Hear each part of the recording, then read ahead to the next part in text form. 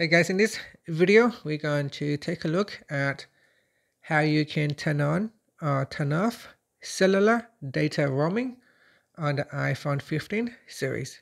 First, let's go back to the home screen by swiping up at the bottom of the screen.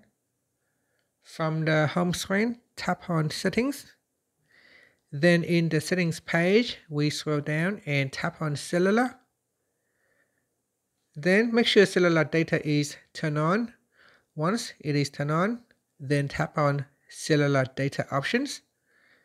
At the top here, tap on data roaming toggle button to turn it off or on. So here, tap on the toggle button to switch it off or switch it on. And that's it.